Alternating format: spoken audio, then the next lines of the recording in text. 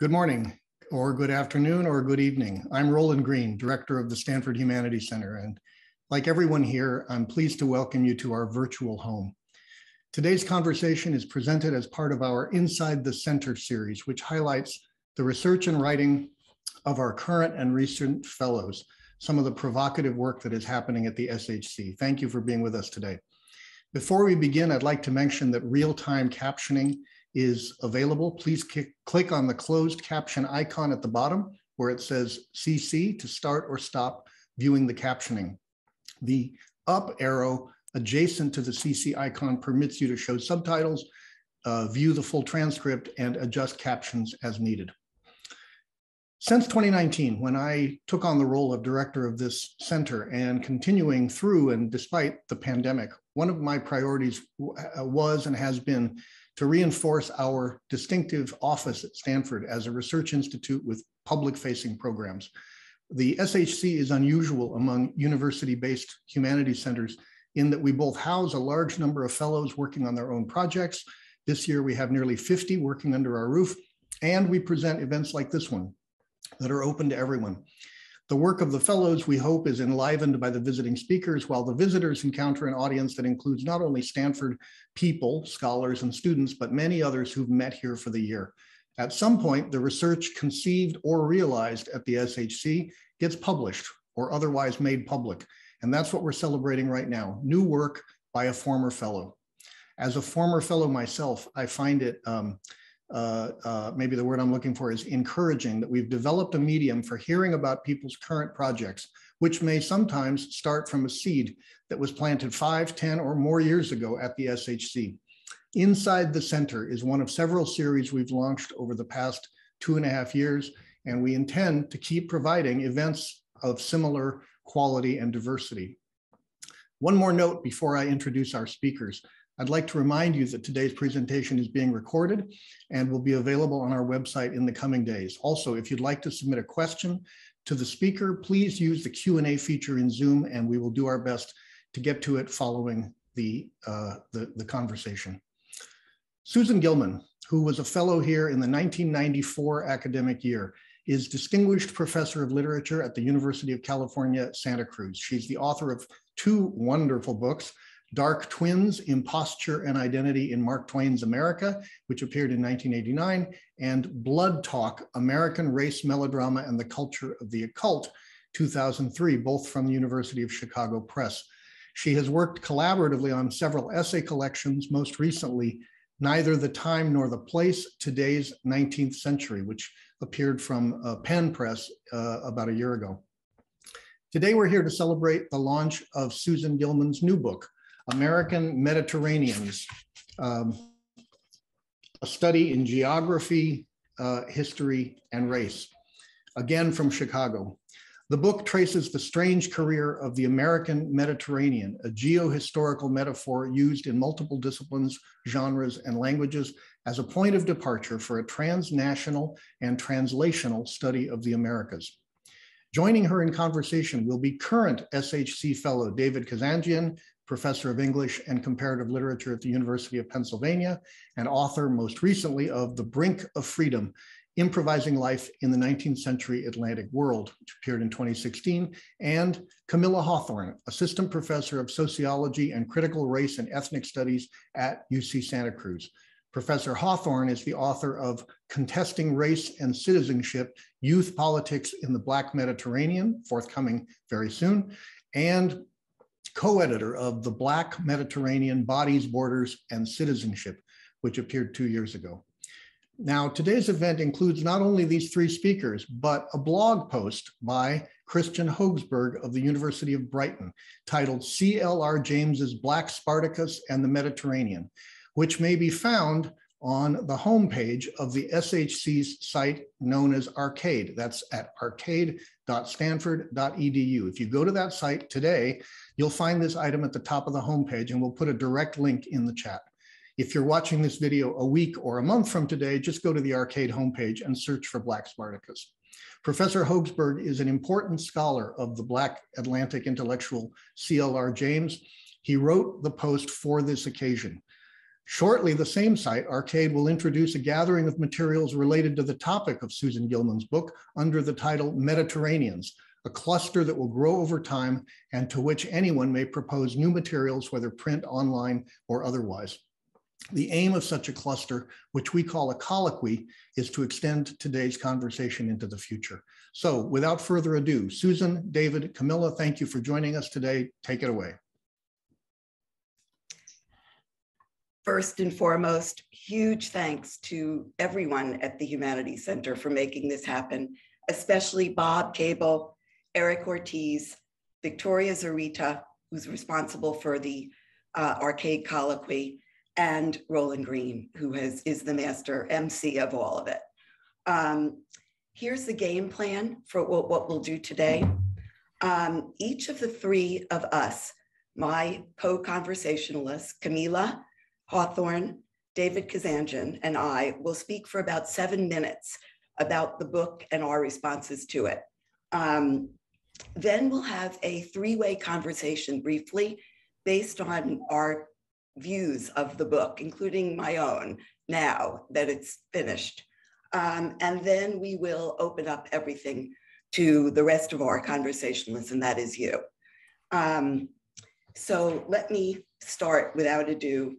Um, the Mediterranean has long existed as a geographic region, an economic space, and a political imaginary. But the plural Mediterraneans of my title point to, as Roland said, the strange career of a folk geographical concept, not at all a household word in the US today, but that term, American Mediterranean, in French, Spanish, and English, once circulated widely and erratically, referring to different places, appearing and disappearing, sometimes just in titles, footnotes, and epigraphs across disciplines and genres, spaces, and times. My starting point is Alexander von Humboldt, the celebrated Prussian naturalist who coined the term Méditerranée de l'Amérique uh, in 1804, referring to the Gulf Caribbean. He also called it Méditerranée des Antilles, Méditerranée Mexicane. And others followed with other places and names, not really translations per se, either literal or loose, but rather cognates. And here's just a sampling of them. The French anarchist geographer, Élisée Reclus, Méditerranée américaine. The Cuban Alejo Carpentier, Mediterraneo Caribe the Jamaican nationalist who was also in exile in New York City, W. Adolph Roberts, Mediterranean of the West. And then not to mention the Pacific Caribbean, the Pacific Mediterranean, excuse me. Um, those terms would be Mediterranean shores of America, colon, Southern California, and Puget Sound, the American Mediterranean. All of those, and they don't exhaust by any means the names, point to the patchwork and protean history of Mediterranean terminology, multiple asymmetrical recurrences, which help us, I think, to ask the question that the book is interested in. Why in the Americas so many bodies of water and land are so frequently compared to the Euro-Mediterranean, both classical and modern? There are two especially high octane moments when and where American Mediterraneans and their corresponding geolocations found that special purchase. One is 19th century geographers and writers of the 1890s who reflect on the Pacific world of Southern California. And one centerpiece of that network would be Helen Hunt Jackson's 1884 novel, Ramona, which spawned a Spanish colonial revival in art and architecture, which was also known as AKA a Mediterranean revival. She also spawned a series of afterlives in California state names, which many of you who are from California will know, downtown Palo Alto features a Ramona Street. The second high octane moment, literary writers and activists of the 1930s and 40s take on the political past and future of the Gulf Caribbean. They adapt Mediterranean thinking as a form of anti-colonial thinking. What they do is look back from Jose Marti's 1888 translation of Jackson's novel Ramona to a network of writers and thinkers, including Fernando Ortiz of Cuban Counterpoint, Carpentier, Du Bois, and C.L.R. James, as well as Roberts uh, and US Southern novelists, James Street, who you won't have heard of, and William Faulkner, who you will have. All of these grapple in one way or another with American legacies of European imperialism and slavery, as those histories give shape to different racial struggles, coalitions, and possibilities. That strange career, which I'm calling it that in homage to C. Vann Woodward's work in 1955 on Jim Crow, also reveals an understudied, if not quite hidden history, um, how attention to geographical place morphed into assumptions about race. Here, George Lipsitz's work on the racialization of space and the spatialization of race would come in. Following out this American Mediterranean history of race and place, licenses and even requires, happily, juggling multidisciplines, which were then still in the process of separating out into their specialized spheres. One example would be climatology as a subset of the emerging environmental determinism, which was at the time touted by its proponents um, as a would-be antidote to biogenetic race. Um, that world, that view of two emerging disciplines produced conflicting and provisional outcomes that the Mediterranean, um, thinking of the American Mediterranean will make visible. Charles Dudley Warner, Twain's co-author on the, the satire, The Gilded Age, wrote the best-selling 1891 Our Italy on Southern California as a Our Mediterranean, Our Italy, exclamation point, a travel and health destination a sanitized, as he called it, semi-tropical Mediterranean without malaria. The semi indicating supposedly without its tropical, meaning racial disadvantages. And that would be the triple threat, fecundity, enervation, disease. Later in the same network, California, attempting to marry geography and history, Ellen Churchill Semple, who was often called Miss Semple, elected in 1921 as the first woman president of the Association of American Geographers. And Frederick Jackson Turner, who of course you will have heard of, formed an unlikely partnership. They aimed to join disciplinary forces at the 1907 American Historical Association annual meeting around their mutual interest in geohistory.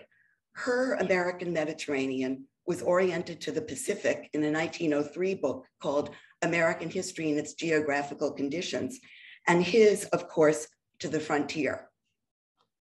That's just a few of the cast of characters in this book, the celebrated and the neglected. They speak for what I found, a history that deserves to be better known, at once long lasting and short lived, raced and putatively colorblind, oceanic and landed, imperial and revolutionary, material and metaphoric. The Mediterranean as a disorderly signifier of place, time, displacement, and atemporality is the bottom line, and I hope a provocation for thought. So, to take the provocation idea, take one of the outliers, the most far out Mediterraneanizers in my book, who neither uses the term nor the concept. C.L.R. James, in principle, had the motive and the opportunity to do so. He wrote his history of the Haitian Revolution, the Black Jacobins, in 1938, when he made 1790 Saint-Domingue, a predictor of world decolonization, a forecast of the future of colonial Africa post-World War II. And in a second edition of Black Jacobins from 1963, he extends that prediction to Castro's Cuba. Um, that from this perspective of the American Mediterranean, he belonged to one of those high octane moments, the Gulf Caribbean 1930, 40, 1930s and 40s, when the ideal of a collective Caribbean identity, also called Antillanité, um, re-emerged earlier under the aegis of Jose Marti. That's a lineage that Glissant um, often mentions. Um, and he circulated, James circulated in relative proximity to other players at this time, Ortiz, Robert, Césaire, um, Carpentier. So without any other evidence of contact, James, for James to be a conscript of Mediterranean, Mediterraneity, um, he needs some form of speculative thinking to use one of his own phrases, to be included as a Mediterraneanizer. But why, I'll end almost with, would James as the Black Jacobins either need or fit an American Mediterranean frame? Itself a speculative counterfactual, really, a real counterfactual take on the comparative, the American Mediterranean frame highlights James's own speculative comparative practice. I'm thinking of all the Black Jacobins, Black Spartacuses, Bonaparte Noir, and Black Robespierres in his book, all of them in one way or another Toussaint's. Thinking as a Mediterraneanizer links James's Toussaint to the classical Mediterranean world, so that, as he puts it at one point in the book, it's no wonder that Toussaint came in the end to think of himself as the Black Spartacus. And thinking through Mediterraneanism, Mediterraneanism highlights the translational aspect of James's Toussaint, especially the question of his names, which James includes in a footnote. Um, as a slave, he was called Toussaint Breda. So from Breda to Louverture, he becomes his assumed name, literally opening. Also later, in the same large network, the 1980s, 90s, there's an off-quoted glissant line. Each Caribbean island is, he says, an opening. The Caribbean, an estuary of the Americas, he says. A sea that explodes in contrast to the Mediterranean, which is a sea of unity, an inner sea that concentrates. So my fondest hope is that my book is just that, an opening out onto other Mediterraneans, other times and places. Um, for that reason, the book is bookended by another unlikely, another odd couple, um, Humboldt and Braudel. Um, to the end of bringing this into the real world as opposed to the book, uh, the book world, I've been talking since last summer with Camilla about her work on the contemporary Black Mediterranean. And in just one lunchtime at the center, at least one more fugitive Mediterranean came out at the table, and that is David's essay in a collection wonderfully entitled An Armenian Mediterranean. Um, this conversation with Camilla and David will be the first real world means to that end. And now, Victoria, please do the slider if you can. Um, and the new, as Ro Roland said, the new Stanford Humanities Center arcade colloquy called Mediterraneans is another future of this, uh, of this book outside of the book itself. I'm hoping, I'm hoping to make it totally open-ended in terms of readers, disciplines, and technologies. There's the blog that Roland mentioned. Um, and then there are, she will show us in a minute, this is the, the top page. There is a slider in which all of the illustrations that I have collected in my book, plus some that I didn't have, are recreated on a slider with hovering captions. The captions, which are in the boxes down below, the dots down below, feature the captions which tell the story of the book as a whole in a different way, um, a visual way, paying homage, as the gallery does of illustrations in the book, to the highly visual nature of the work on American Mediterranean. Now, the best test of the book's success is whether you, the audience, are sold on this way of reading the strange on again, off again career of the American Mediterranean. It's an unruly counterfactual comparative, if there ever was one. But beyond simply the application of or a corrective to a classical European model, it's both the talking back and an opening out onto future worlds elsewhere, all the other possible Mediterraneans known and unknown. The wager here is to read my book not only as a Jeremiad, a warning, geohistorical metaphors have often served as quasi-scientific projections of a Western right to conquest, but also inspiration, speculating on alternative revolutionary futures emerging from the unfinished business of the past all brought together under the umbrella set, the banner of the American Mediterraneans. Next, Camilla. Thank you very much, Victoria. Thank you so much. And Thank you, Susan. Um, I'm immediately reminded um, about something that Stuart Hall said about the West, but I think we can also use to think about the Mediterranean. Um, Stuart Hall described the West not as a geographical referent, but as an historical construct. And I think that, you know, the, the line of continuity between the many different Mediterraneans um, that we're talking about today are, you know, the kind of shifting fluid historical constructions of these Mediterraneans.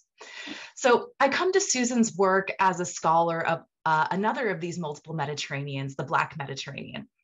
Um, Black Mediterranean studies is an emerging field that considers the production of Blackness and the distinct contours of Black subjectivity in Mediterranean Europe, the erasure of Black histories and the dense networks of cultural creolization that link Africa and Europe, and the practices by which Africans in African diasporas in Italy and Southern Europe engage with and expand the, the circuits of global Blackness. And as an analytic, the Black Mediterranean is focused on linking sub Saharan Africa to the wider Mediterranean basin, past and present, from the historical connections between Nubia and Egypt to um, the violent migration control regimes that characterize today's migration control collaborations between North African states and Fortress Europe. And much like Susan's work, this emerging literature on the Black Mediterranean de-romanticizes the Mediterranean, right? No longer is the Mediterranean a kind of convenient stand-in for temperate climates and healthy diets, um, but it's a, a powerful site of racial boundary drawing. As she writes in the introduction to the book, the Mediterranean metaphor is always in part about race, even when it appears not to be. In the case of the Black Mediterranean, centering these irrepressible connections between sub Saharan Africa and the Mediterranean can also facilitate a critical rethinking of modernity itself by challenging the separation between sub Saharan African Blackness and the imaginary of the Mediterranean as the cauldron within which a presumably white European civilization was produced. In Italy, where I do the majority of my work, the Mediterranean has long served as a racial referent in the tenuous process of nation building in ways that have global reverberations. Much like the racial geographies that Susan describes in American Mediterraneans, politicians and scientists of liberal Italy um, around the time of national unification attempted to use racial science to secure Italy's membership as part of Europe and resolve the questions raised by Italy's geographical position at the border of Europe and Africa. Italian elites strove to access European modernity through the production of scientific knowledge using climatology, physiognomy, anthropology, criminology, and so on. Um, and specifically through the production of scientific knowledge that mapped Italy as unambiguously European, either by bracketing Southern Italy as outside the civilizational boundaries of Italianness, or alternatively by asserting the Afro-Mediterranean origins of all European civilizations in the case of Giuseppe Sergi. Most European nation states at the time traced their cultural and political origins to ancient Rome, locating the cradle of European civilization within the Italian peninsula.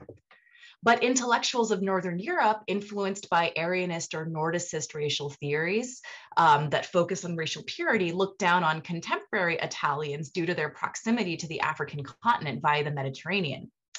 For example, de Gobineau famously contended that the Aryan racial origins of the Roman Empire, that despite the Aryan racial origins of the Roman Empire, its collapse could be traced to the decadence and racial degeneration caused by Aryan Romans' indiscriminate intermixing with African and Asians. This problem of racial equivocality was further exacerbated by liberal Italy's colonial expansion into the Horn of Africa. So as such, Italy was part of a global system of race thinking and racial science in the 19th and 20th centuries, even preceding fascism, embedded in transnational networks of scientific knowledge production that, for example, used the Black female body as the material grounds for establishing and contesting the boundaries of racial national identity and citizenship. Cesare Lombroso, who today is considered the founder of modern criminology and is perhaps Italy's most famous and prolific homegrown racial theorist, had in his collections a painting of Sarah Bartman, otherwise known as the Hottentot Venus, even though she was never brought to Italy. Nonetheless, it was through his visual dissection of her body and her and its comparison with the body of Italian sex workers through a set of pan-Mediterranean comparisons that he penned theories of atavism and criminality that mapped Italianness based on relative distance or proximity from Mediterraneanness and blackness. And of course, Lombroso's ideas reverberated across the Atlantic, even to the United States, where his arguments and those of his acolytes influenced the intertwined racialization of Italians and Black Americans and were used to justify restrictions on Italian immigration to the United States, right? So once again, we're seeing the interconnectedness of these many Mediterraneans. So, on the one hand, the Mediterranean has been a locus of engagement, exchange, and cultural fluorescence for thousands of years. But on the other hand, it has been a center of economic extraction, racist violence, and imperial ambition. Right today, the Mediterranean is immediately recognizable as the symbol of Fortress Europe's brutal border regimes.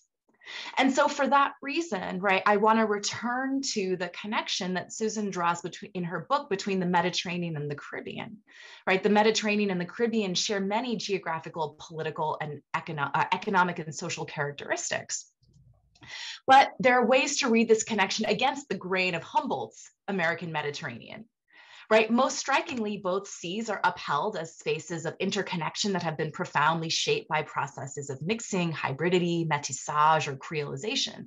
But these histories in both cases are inextricable from extreme forms of racial, capitalist, and gendered violence.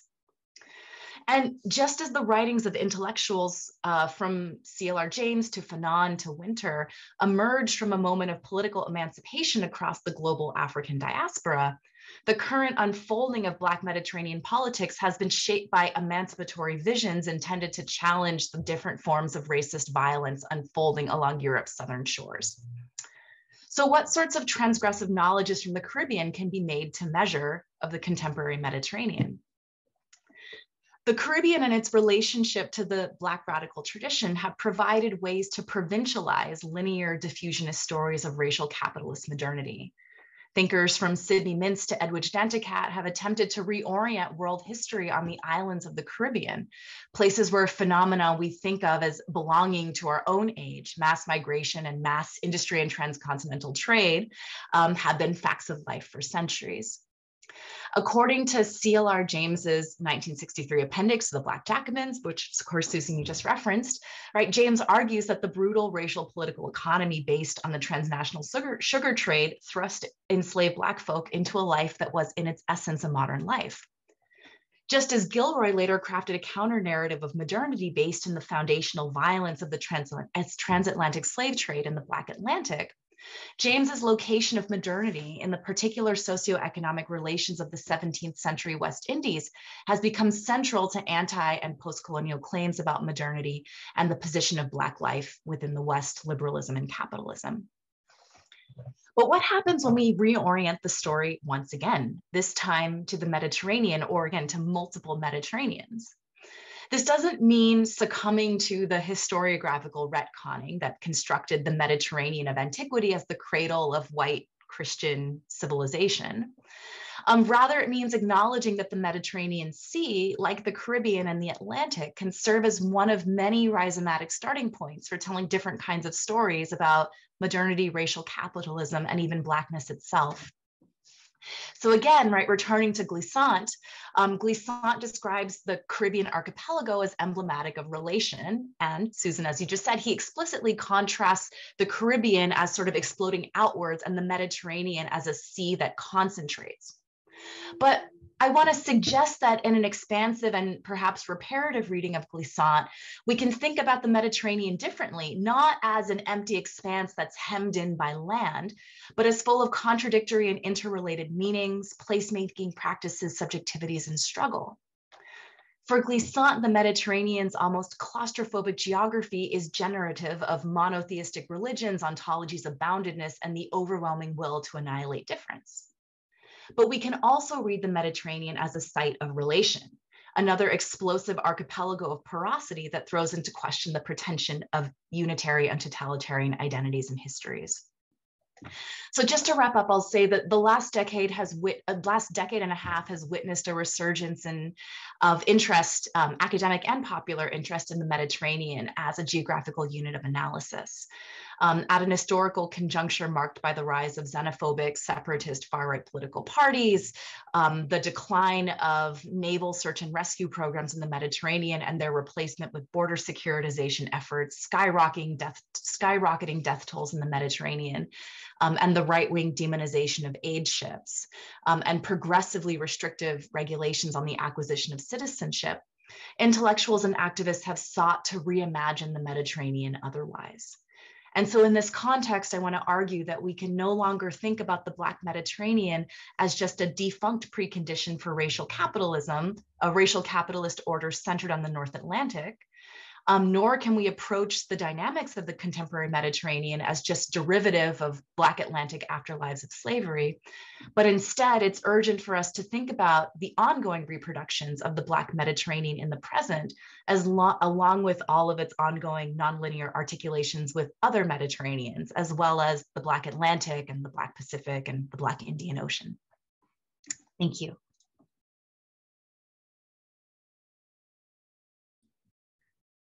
Great, fantastic. Uh, thanks so much for that. Um, so I'm David Kazanjian. Uh, Susan and I are joining you, uh, in case you were wondering, from my office here at the Humanities Center.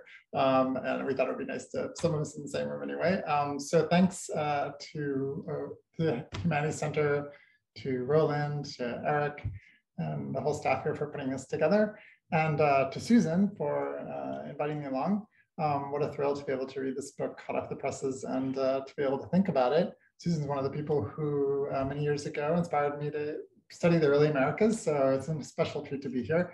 Um, uh, another person who inspired me to do that is uh, the person to whom you dedicate the book, uh, Amy Kaplan. So I felt like we ought to invoke her. Um, we lost Amy a couple of years ago, almost two years ago now, and uh, and she I know is would be here, but is also probably here somehow uh, for both of us, at the very least. Um, so I'm just going to uh, talk a little bit about the method of um, Susan's book here um, in ways that I think will uh, build on what we've already heard. Um, and I'm looking at a monitor right here that has my comments on it. So if I'm looking a little bit here, uh, that's what's going on on this end. so American Mediterraneans seeks out to rediscover the history of its eponymous term to speculate on the cultural work that term does across space, time, and language, work that is always fundamentally, if not openly, racial. As Susan explains, quote, I propose to take the history of American Mediterranean nomenclature and thinking as a mode of comparison against the grain, rather than the usual discrete, nominally parallel units of comparative history. This is something else, a loose framework attuned to the asymmetrical power relation of putting together uneven, often unequal places, times, and languages, end quote.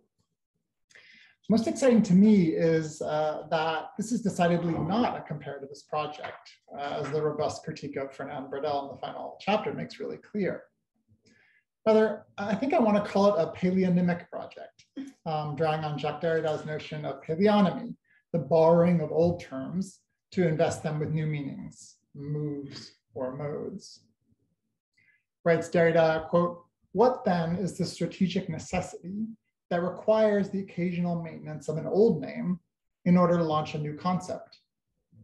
The name being maintained acts as a kind of lever of intervention in order to maintain a grasp on the previous organization, which is to be effectively transformed, end quote. So paleonymy goes on to explain works by extraction, graft, and then extension. So let's take these three moves one at a time, extraction, graft, and extension.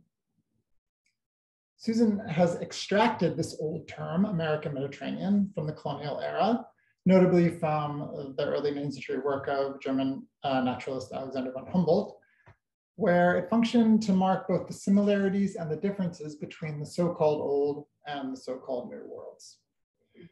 This extraction is strategically necessarily necessary, she meticulously shows uh, in the introduction, because Humboldt's use of the term offers, quote, a mode of critique, a method with a particular skeptical and hypothetical take on the comparative that is at the very heart of the idea of comparing the European Mediterranean with various American correlatives, end quote. So even in Humboldt, we can see in action the term's critical force, and thus the justification for revisiting and extracting it.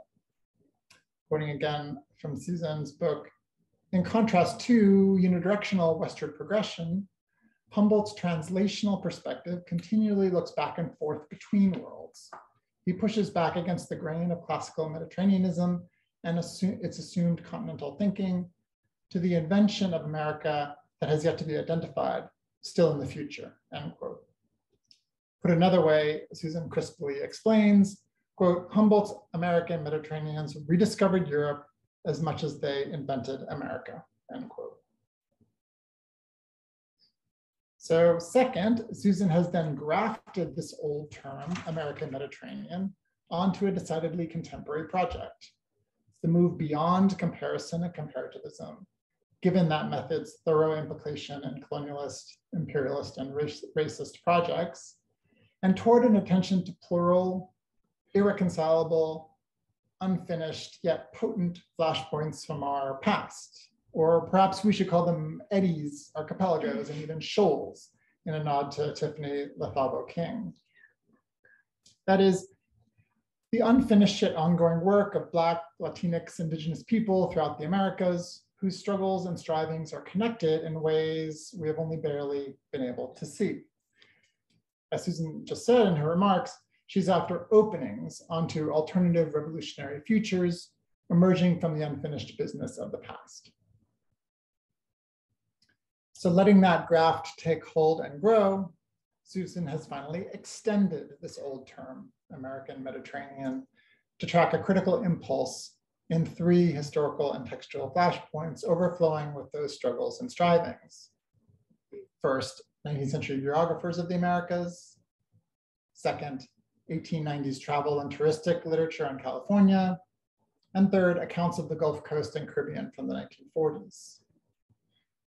With each extension in time and into texts, the term reveals more potent consequences for its critical force. We learn to spot the study of human environmental interaction in scholars like Ellen Churchill Semple's 19th century geographies. We learn to spot the traces of not entirely lost indigenous and Spanish place names in late 19th century California travel literature. And uh, we learned to spot the splendid failures, the unfinished revolutions of the past as unrealized predictors of the future, waiting to be activated from the work of CLR James, Roberto Fernandez Retamar, and Jose Marti. So extraction, graft, extension.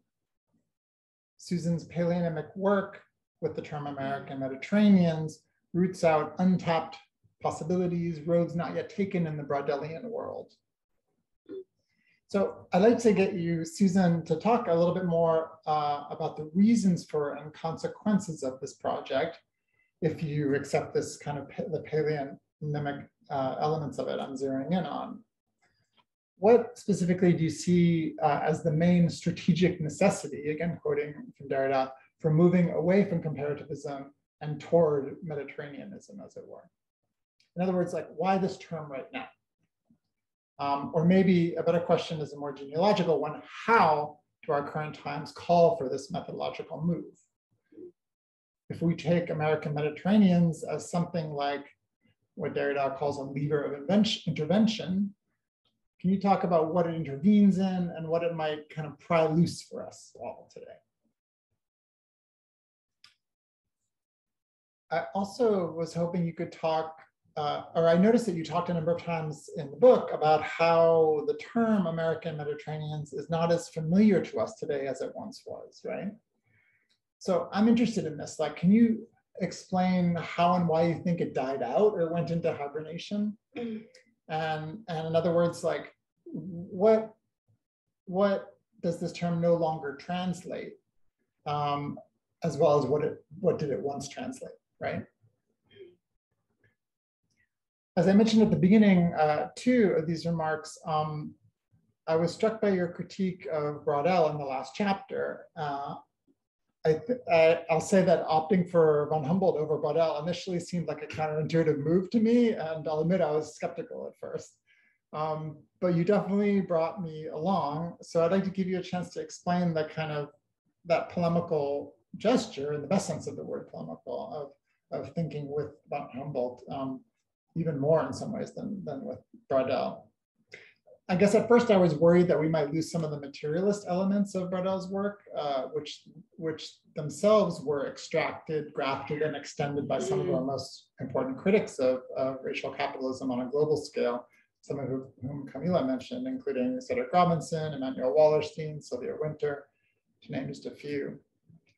So I guess I'm asking uh, here if you can talk a bit about how we can keep track of materialist concerns like the circulation and, and flows of capital, people, and ideas, even as we activate the poetics of the many Mediterraneans you reveal to us. I actually have recently been thinking through the anthropological literature on infrastructure to understand the, the, the material, as a way of understanding the material and poetic of routes of circulation uh, at once. So I, I, wonder whether you've come across any of that work or if that's an interesting frame for uh, you, um, uh, if you found in it any kindred moves or methods. And of course, as you, as you mentioned, we can talk to you about um, the Armenian Mediterranean um, and that project, uh, which I was a, a, small part. So that's it for me. Um, uh, let's turn it over now to the to the discussion, right? To all of us, yes. Camilla is, we welcome.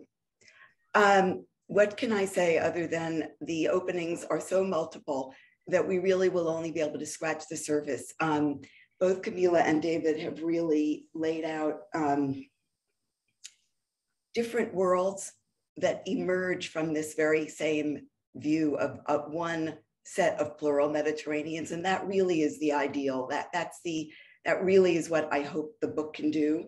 So let's, let me start um, David posed some questions, and I think Camilla in implicitly um, posed some questions.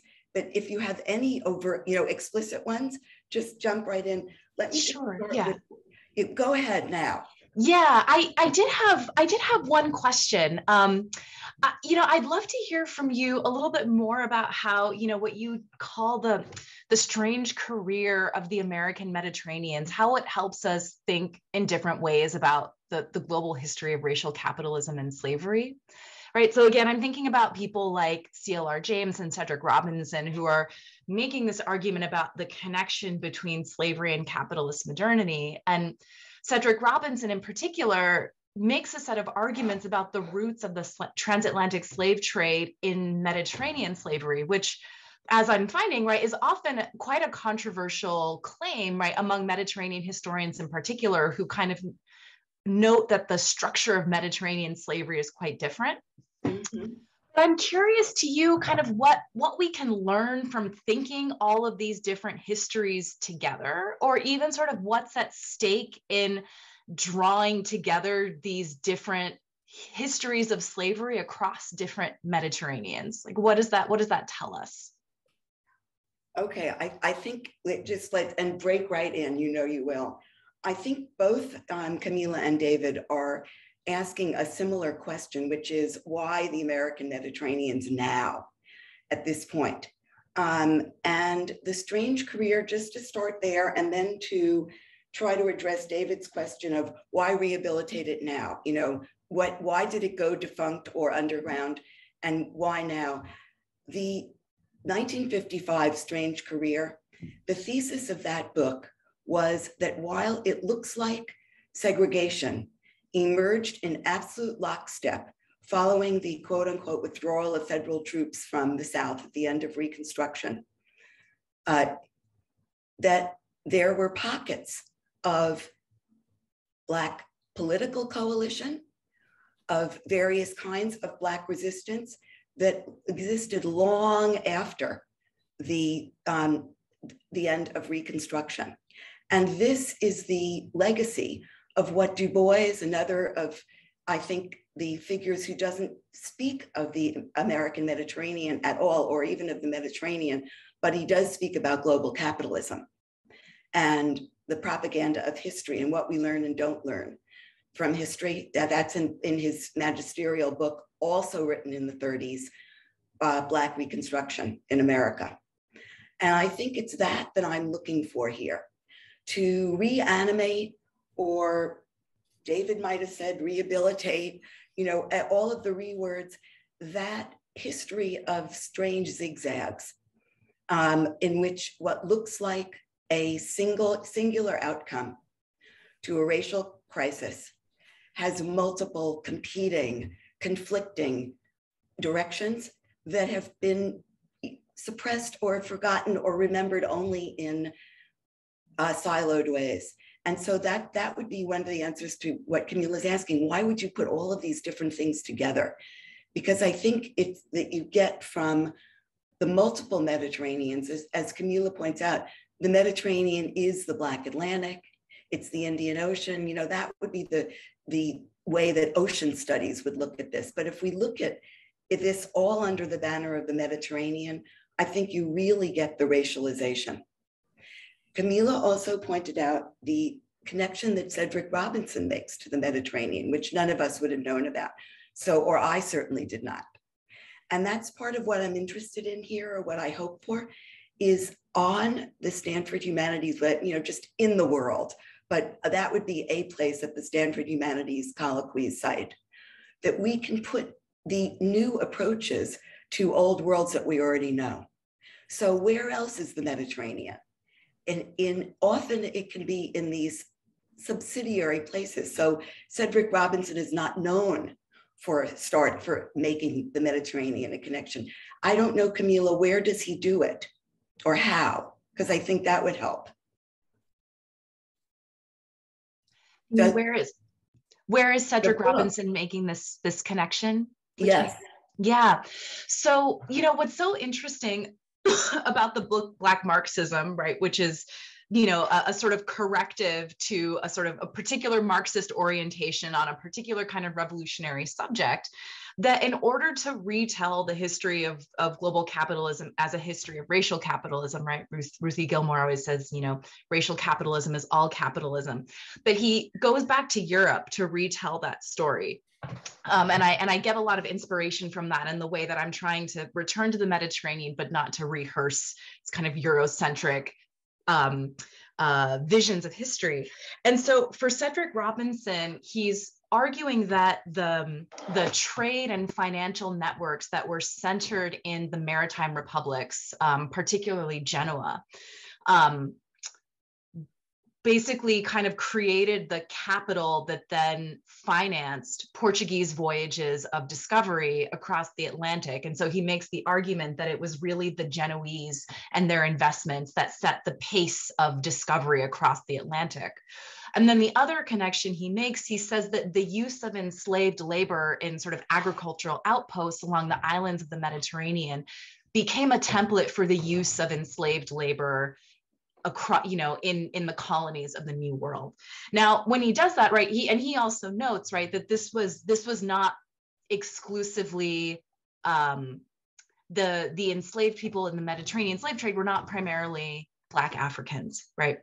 And but that doesn't sort of undercut his argument because part of what he's trying to do is actually make the case that capitalism is racial because capitalism emerges from a feudal order that was already suffused with racialism. Effectively, that Europeans were racializing themselves before they had any interest in racializing Africans, and that the first racial subjects were the Irish, the Roma, the Slavs. So there are all of these different ways in which Robinson is also kind of retelling, he's retelling the history of capitalism. He's also retelling the history of race in kind of Western European modernity. Um, and then in doing so, drawing these connections between this sort of emergence of um, a Mediterranean slave trade and then the emergence of the transatlantic slave trade.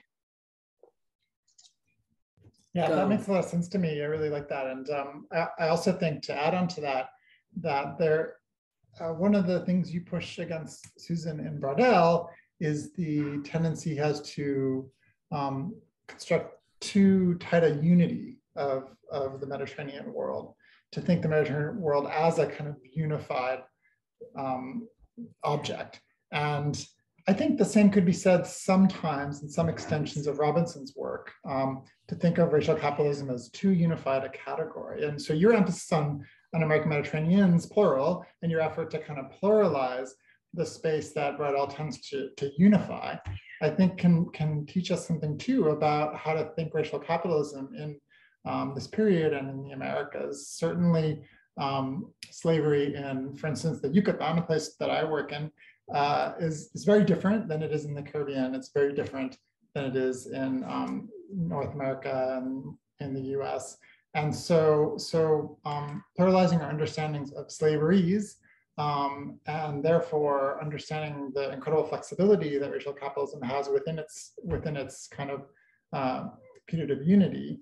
Uh, I think that that's, that's like a, a project that you're also provoking us to, to take on. Um, and, and if, if we can construct too unified a sense of what enslavement and slavery means and what racial capitalism is, then we lose track of, for instance, incredible diversity of Black life that flourishes uh, in resistance to enslavement, um, as well as the dynamic interplays with uh, indigenous lives uh, in, in, all these different regions. So so that, that's one of the ways that I really uh, appreciate your, your, especially that final part of your book.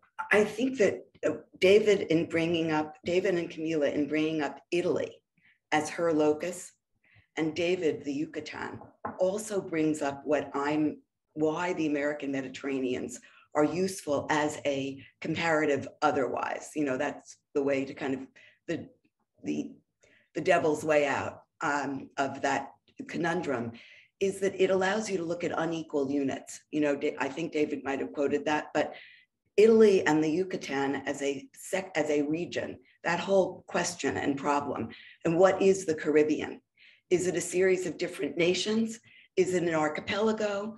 Those kinds of questions. Um, their two locations of study also explain the utility of thinking multiple Mediterraneans. David's question of, and Camilla's really too now, why the American Mediterraneans now? Yeah. I think we'll go back. Why does it, as he say, hibernate? I think that's a really good um, image. It, it definitely appears to correlate to it's those high water, high water marks or high octane moments are moments of racial crisis um, globally. And the or nationally or both. And it appears to emerge at these moments when racial crisis is occurring of different kinds. Correspondingly, it goes away, it dissipates, it, it, it hibernates when there's this kind of what we would call now post-racial view of things. So in the 1890s in the United States, we all know there's the ideal of the colorblind constitution. And that's what lay behind Plessy versus Ferguson, the, uh, the Supreme Court decision of 1896.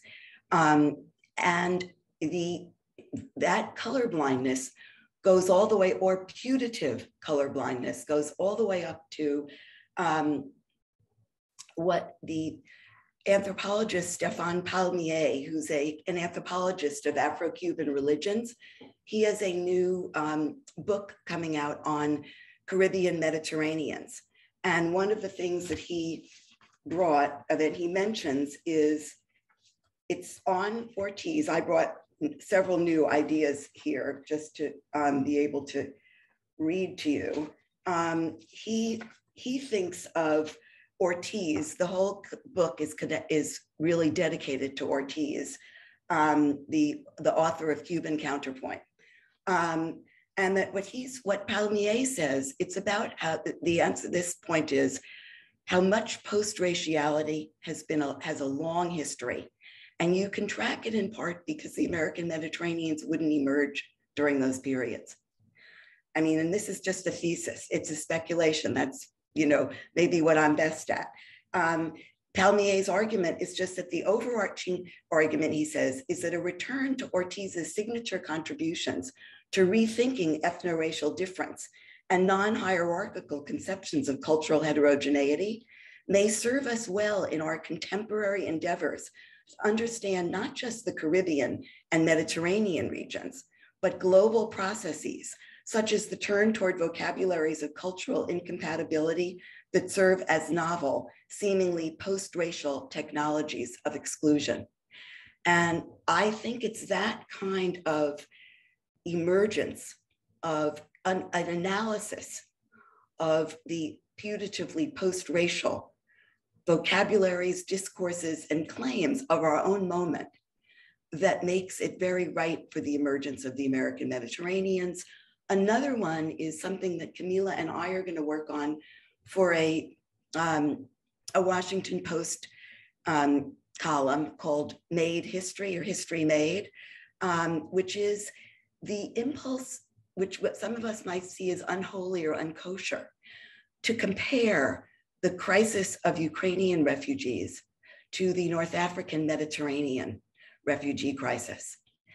And I don't know if either one of you wants to say anything about that, but there was actually a, a, a an article in the, today's New York Times about a, um, a boatload of Tunisian refugees that, that was lost. And the end of the article has a series of dizzying um, numerical comparisons to year by year how many Ukrainian refugees there are now and how many over time since 2016, the quote unquote height of the Mediterranean refugee crisis, to see what kind of conclusions you can draw from those numbers. It reminded me of how the comparative impulse, which we all in many ways despise and turn away from, is so ubiquitous. It's so hard to get, get around um, and that we need to figure out ways to talk about it that are speculative, that that acknowledge the numbers and the need for the quantification and do more than that as well, or jump off from the numbers. Um, I don't know if you have any ideas about that, but I that is one that I think is really important about why now.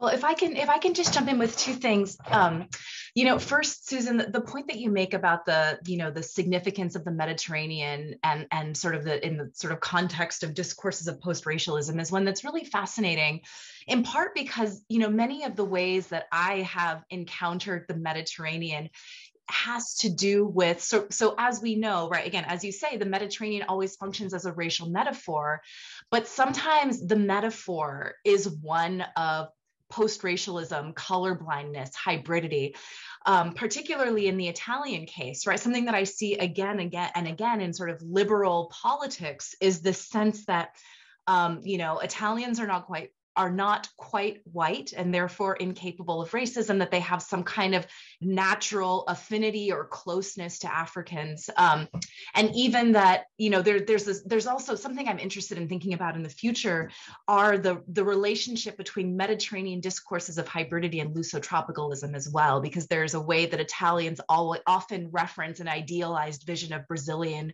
racial democracy as an alternative to what is seen as an excessive American focus on race.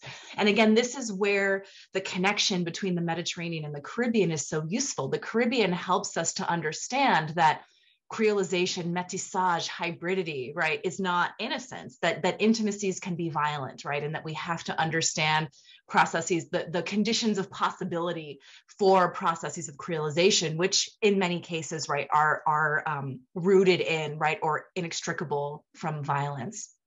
Um, but you know, to the question of of comparison and you know how we understand the the refugee crisis in Ukraine and how that connects to the Mediterranean, um, and we've talked about this, right? But there's a way that what is happening um, at, for example, the the Ukraine, the sort of Ukraine-Poland border is can it's sort of unintelligible without the sort of shadow comparison to the Mediterranean.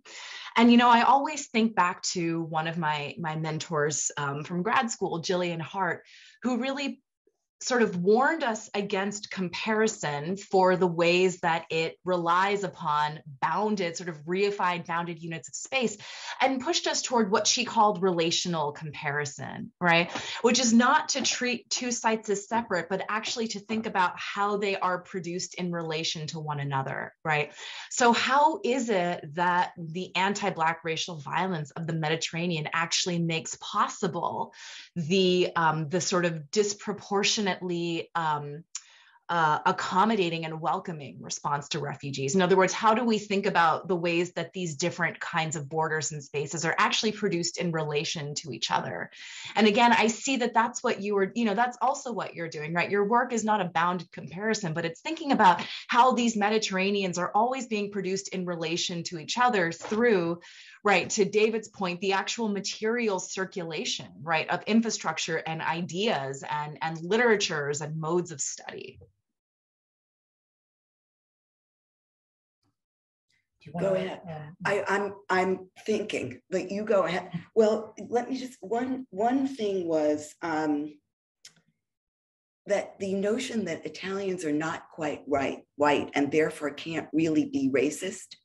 That is another really interesting way to think about this putative discourse of post raciality. You know, what is it doing? Why does it work? Why do you need the comparison? You can't make that statement either without thinking about, well, who else is white? Um, and who else is called explicitly not white? Both of those, where the Italians would be in the middle of that. Um, and then I think that Luso, um, the Lusotropical, that's really interesting um, as another intermediate term. I think probably these, the ways of thinking comparatively on a continuum instead of polarized, you know, X versus Y, that would be the bounded units. But comparison is useful if you think about points on a continuum.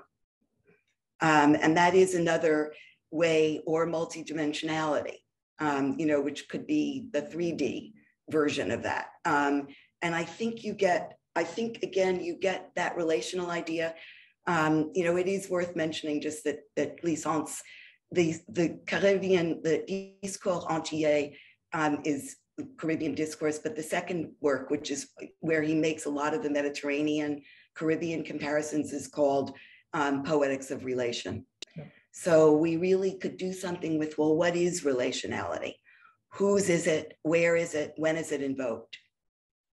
And if yeah. I could just add one quick thing about Glissant, we relation the you know relation is relation exists in relation to opacity and i think that's really important to yeah. the opacity piece yeah but also um like your the way you just talked about relation camilla is, is even more uh, expansive than that and it reminds me um to think about like if american mediterraneans names a method right um, of, of studying not just as you said, Camilla, two discrete units um, or a series of units in relationship to, to discrete object of comparison, but rather relations among, among places, then we can think about, like, for instance, the work of, of, of another sadly departed dear friend of mine, Maria Elena Martinez, on the traffic of racial thinking in early modern Iberia to simultaneously both South Asia and the Americas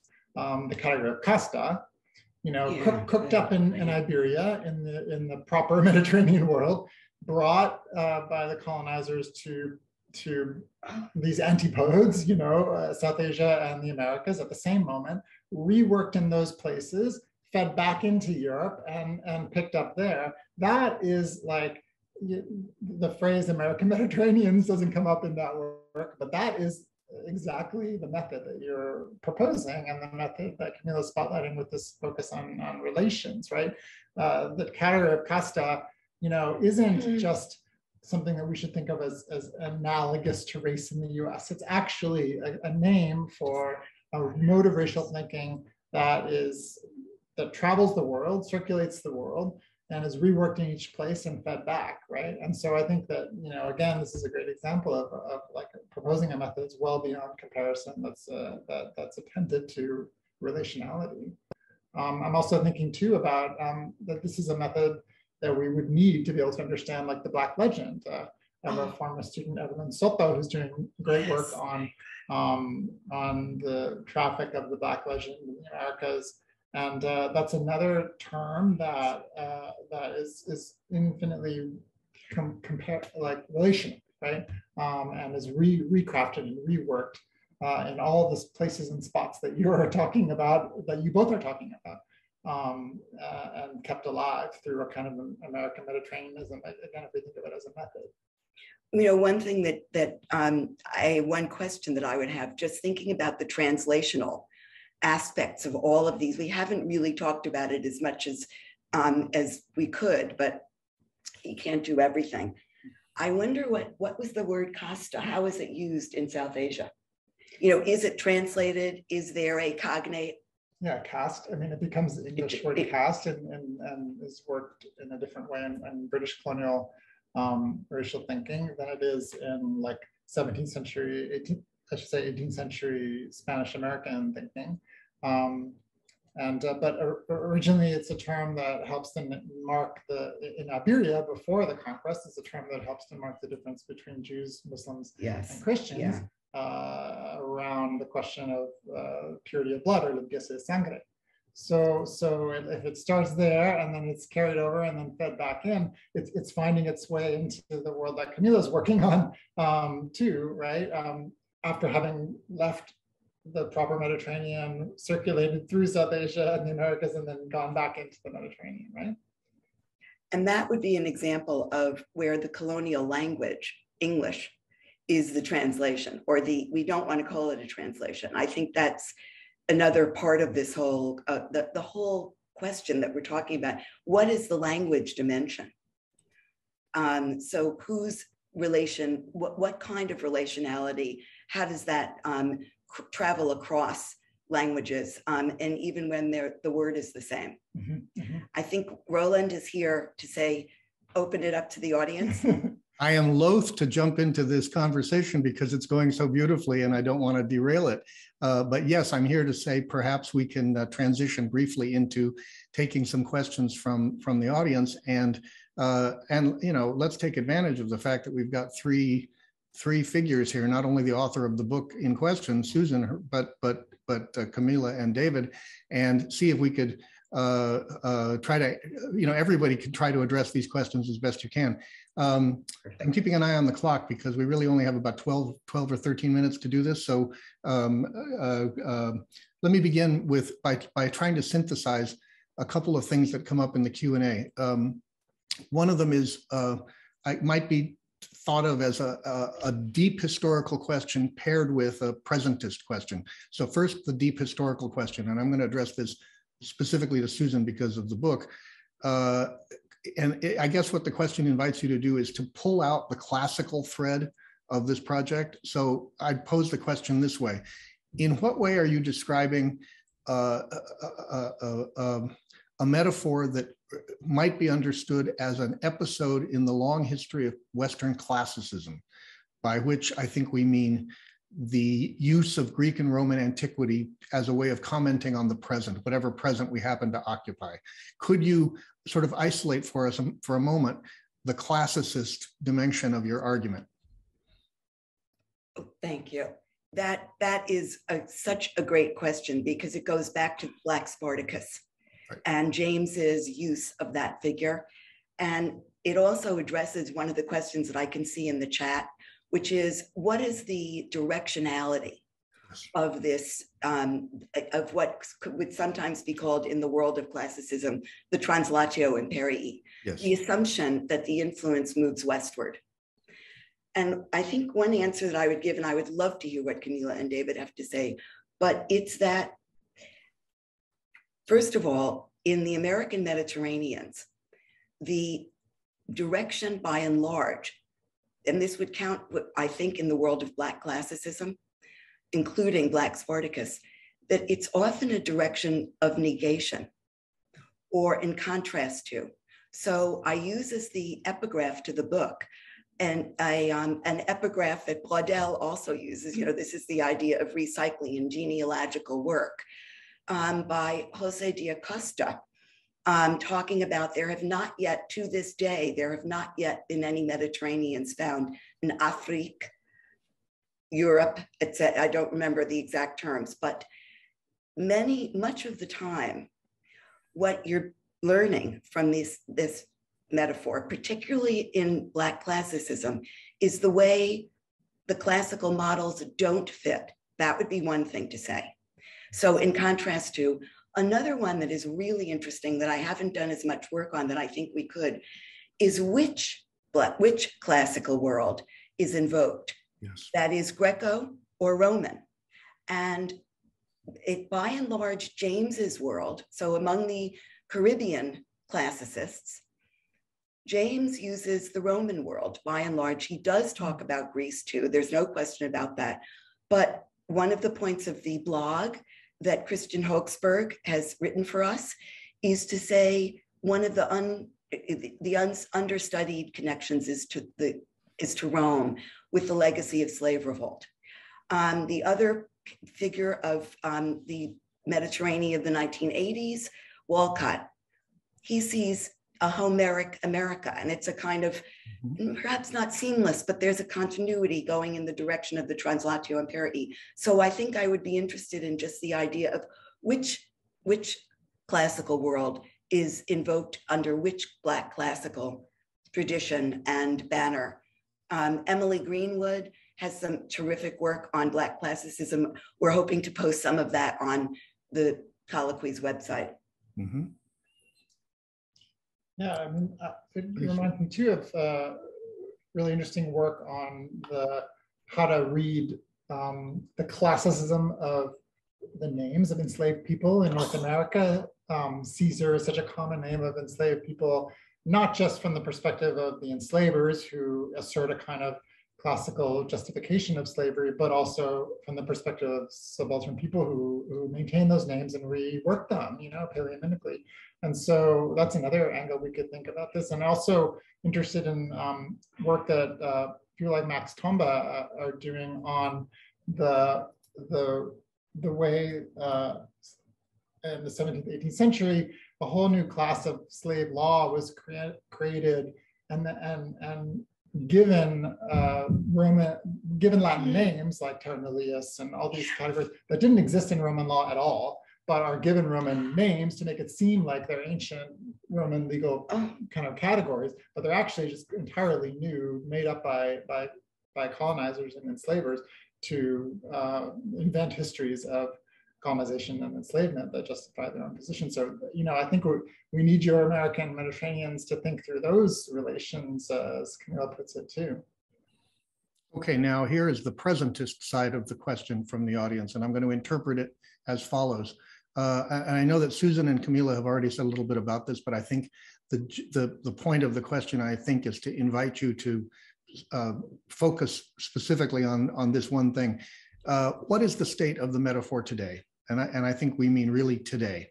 That is, um, you know, Camilla mentioned present day conditions in the real Mediterranean that are um, uh, so challenging and so um, um so full of meanings that would not have been the case 50 years ago.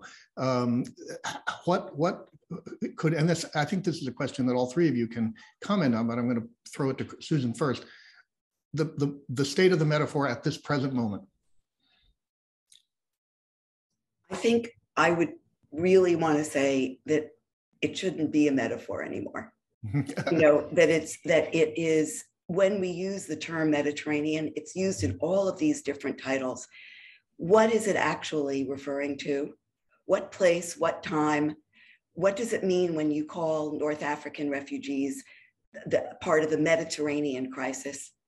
What material history, you know, is being both revealed and, and in some way um, veiled by that kind of language? I think that I resist the idea of it as a metaphor it's used that way, the California use of it and the secondary sources on it, the secondary sources I consider to be just as much a part of the whole history.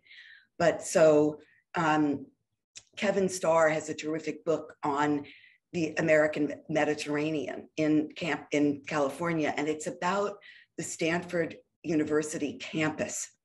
he thinks of it as a metaphor, but the best parts of what he writes on is the way Frederick Law Olmsted um, and David Starr Jordan got together and disagreed and agreed on what to do to make the campus a recreation of a, Mediter- of a Mediterranean place. And now there's an unforeseen future, I think, to that, a material future of what the Mediterranean might mean for the campus, which is that David Starr Jordan's name, like so many names, have been disappeared yeah. from the building called Jordan Hall. I didn't use slides because I just feel like it's, we would rather have an interactive presence of all of us, but it's really striking to see that em empty space. I consider that to be a Mediterranean, a material Mediterranean future, or you know, of what it once was, now present. Hmm. If I can just throw in an addendum from the audience to that, to the point you just made about the um, um, annulment of this as a metaphor, or the the the the, the you know the obsolescence of this as a metaphor. Uh, quote: I believe that Mediterranean studies are having a revival right now because Mediterraneans themselves, Sicilians, Greeks, former Yugoslavs, Turks, are finally writing themselves. They're speaking for themselves, calling for solidarity. So that's part of the presentist question as well. What else is interesting about that? The collection that David is in, I mean, this is not um, this is an academic book, but the one that's called so provocatively An Armenian Mediterranean. Want to say anything about the interlocutors in there? Well, yeah, for that project, it's similar. For the, they tried to use the um, the editors of the collection tried to use the Mediterranean frame as a um, as a method to to look at, at this wider space. This we, we might some some in area studies might call an Ottoman space um, from an Armenian angle, right? And so, um, so to connect previously disconnected or in, in the most extreme case, um, genocided yeah, people yeah. Um, back into the Mediterranean world. And so, you know, from, from that angle, for instance, the, the um, Turkish Mediterranean is not underrepresented, it's overrepresented, right? Um, and, uh, and there never was a shortage of of Turkish writing into the Mediterranean, but there has been there have been other shortages. So so I think that you know the, it's it's an interesting project that also tries to think about the category methodologically. Um, it, it's not obviously the word Mediterranean just a metaphor, but uh, we can't deny the fact that it continues to assert itself on all of us metaphorically. Um, we can't wish that away. So that's what I really appreciate about your work, like taking that that seriously and on board. Just but, yeah, Camilla. To say, well, definitely, Camilla. The, the person who asked that question that you did a, a nice paraphrase of says um, that they are uncomfortable with the, using the term that, that metaphor, and I couldn't agree more. Yeah. It's all over the literature. So you have to. That's the great part about thinking of this as the literature itself is a kind of intervention they are all, everyone is a part of the history of the using of this term, including the people who just think they're reporting on it yeah. in a kind of neutral way.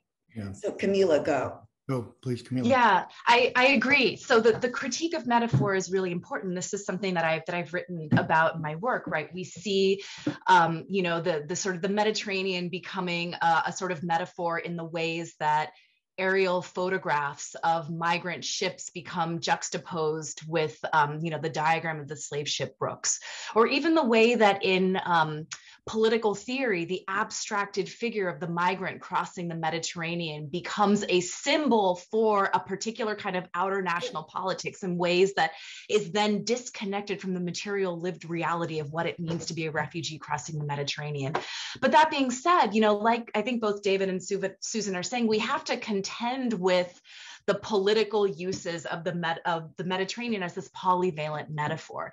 And this is something that, you know, I in my book I have a chapter where I sort of track the different ways that the Mediterranean gets used to map the boundary line between Europe and Africa. And I saw that there was a, a, question about not generalizing Italians, and I certainly do not, because what is at stake precisely um, is the fact that the boundary line between Europe and Africa, between Italy and the Mediterranean, has constantly been shifting. So at some points, that boundary line divides northern and southern Italians. Under fascism, Italians get sort of racially incorporated as one singular Aryo Mediterranean race as a way of of distinguishing them from the colonies in the African continent.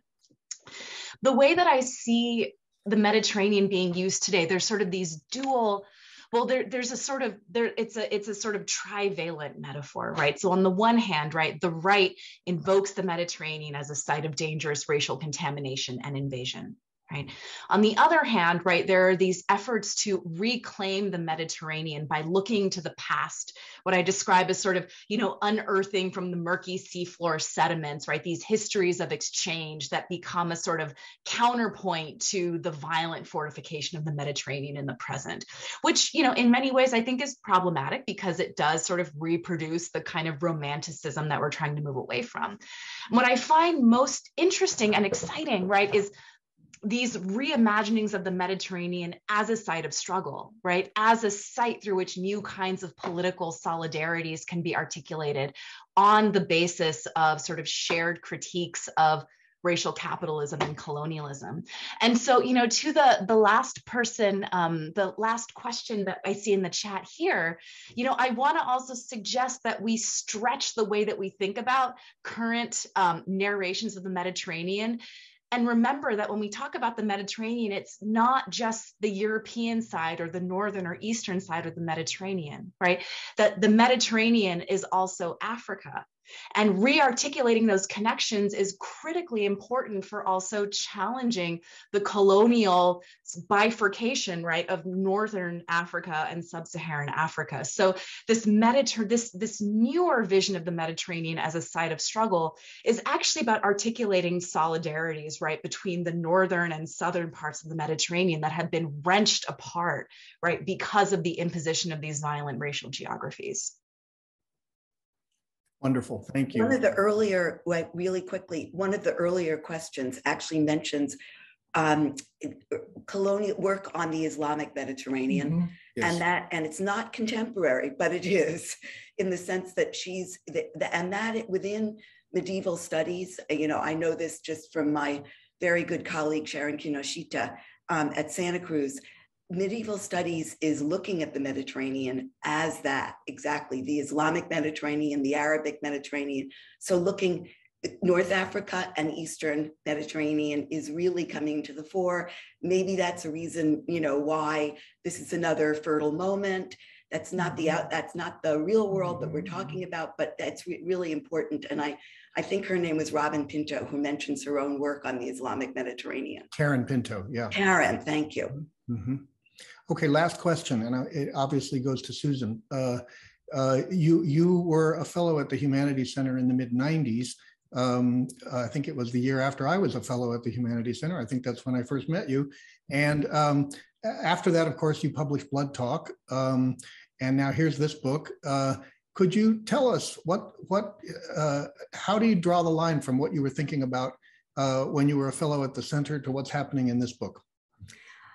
I was so always interested in fringe figures, outre figures. So Madame Blavatsky, um, a you know notorious occultist um, of the of the turn of the century, and that was the American race melodramas and the culture of the occult. At what I was so interested in during those that year, those early '90s, culminating in that year at, at the Humanities Center, and it in part had to do with the way race was being talked about. And there were our, our own versions of um, white supremacy mm-hmm. uh, and occultisms that were being brooded about at that time. And the way I picked up on that had to do with being interested in these fringe figures um, in the long history of the quote unquote race melodrama, which has so many of the same polyvalent characteristics that we are talking about. It was it was practiced by, you know, anyone could do it. It was a highly protean. Um, and the Humanities Center was the place that I was thinking about occultism. So that's whatever, whether that's a, a, a good thing or a bad thing, it was really that. Um, there were a lot of people at the time um, doing popular culture, and that also Yes, right. is part of my work. So um, there's another one. One of my very good colleagues at Santa Cruz, again, Vilashini Cooppan, was a, um, a graduate student um, fellow then. That's right. She loved Star Wars and was interested always in thinking about histories of Star Wars. It was so, there was a lot of fertile work at the time that you can really trace maybe, you know, in a zigzag to the present. Great, thank you so much. And uh, uh, as we wrap up here, on behalf of the center and on behalf of, uh, of uh, the audience, let me thank Camilla Hawthorne, David Kazanjian, and most of all Susan Gillman for a wonderful uh, conversation. I should also thank uh, Christian Høgsbjerg, uh, who contributed a blog post. And I, I should say, we hope the conversation continues. To the audience, I'd say go to the arcade go to arcade.stanford.edu, go look at that blog post by Høgsbjerg, comment on it. Uh, your comments may be um, addressed by the author or by Susan Gillman or by someone else, and you can continue the conversation. And especially keep an eye out for the new colloquy called Mediterraneans that we will uh, launch shortly, probably in a week or two, and it will include some of the materials that have been discussed here and mentioned in passing. And it will be a place where people can uh, submit their own their own uh, work and their own comments on what's already there. So thank you all for this. Um, everyone who registered for today's event was entered into a drawing to receive one of three copies of American Mediterraneans. And so I would like to announce the winners. Carol Farina, Cameron Bushnell, and Louise Dibble. We will be in touch shortly by email uh, about getting the book to you thank you again to so many of you. Uh, I'm looking at the audience, not only nationwide, but worldwide that have joined us today. I hope many of you can return on, on Thursday, June 2nd. That's exactly a week from today at 4 p.m. Pacific, either in person at the center or online for our last public lecture of this academic year. The political theorist Adom Getachew of the University of Chicago will speak on the universal race Garveyism and the practices of Pan-Africanism. As always, details are available on our website, shc.stanford.edu. So from all of us here at the center, thank you, and until next time.